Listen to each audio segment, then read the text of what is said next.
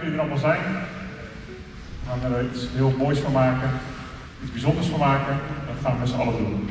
Het verzoek is om, om half tien uh, operationeel inzetbaar te zijn. Zijn er grote vragen die nu nog besproken moeten worden? Ja, voor jullie staat uh, een politiechef met uh, twee gevoelens. Eentje van nog steeds droefheid, boosheid en ongeloof. Maar ook eentje die enorm trots is dat hij de baas mag zijn, dat hij de chef mag zijn van deze club. En de samenhorigheid uh, en de onderlinge betrokkenheid, die maakt echt diepe indruk op mij. Alleen op zo'n manier kunnen we vandaag volgens mij de dag maken tot wat hij moet zijn. En dat is voor Arno. En laten we er een ongelooflijk waardige en mooie dag van maken. En voordat we zo eruit gaan, zou ik jullie allemaal willen vragen om even te gaan staan. Dat we uh, kort stilte hebben, even stil te nemen. Dat jullie allemaal willen gaan staan, alsjeblieft. Kort even stil.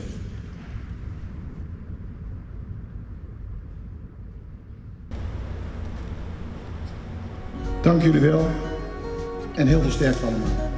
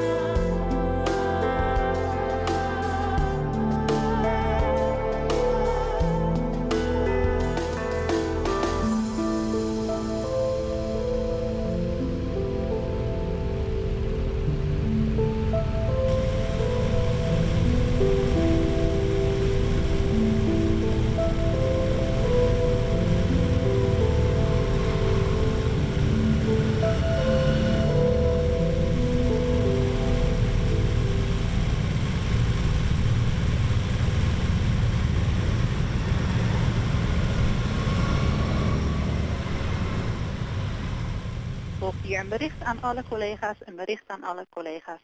Dit is een vooraankondiging voorafgaand aan de twee minuten stilte uit respect voor het overlijden van onze politiecollega Arno de Korte. Dit betreft de laatste oproep aan Arno de Korte, collega teamverkeer. Onze gedachten gaan uit naar de familie en alle betrokken collega's. Arno zal door velen gemist gaan worden. We nemen nu twee minuten stilte in acht ter nagedachtenis aan Arno. Hier volgt dan ook radiostilte tenzij spoed uit.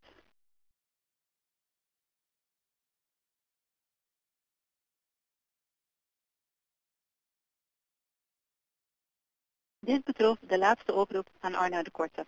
Arno, rust in vrede. Einde radiostilte. Bedankt allen voor uw medewerking. Alle uit.